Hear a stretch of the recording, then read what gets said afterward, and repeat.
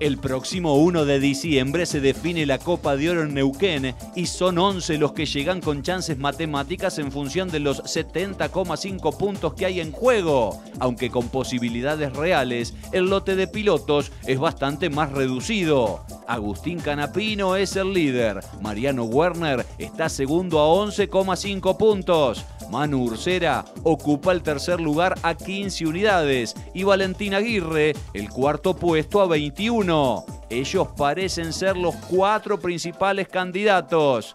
Quinto, de Benedictis a 25, pero debe ganar sí o sí. Sexto, Jonathan Castellano a 36,5. Séptimo, Arduzo a 47,5. Octavos, Mangoni y Silva a 49. Décimo, Benvenuti a 60,5. Y un décimo, Lambiris a 66. Se viene la definición. En pocos días conoceremos al campeón 2019 de TC.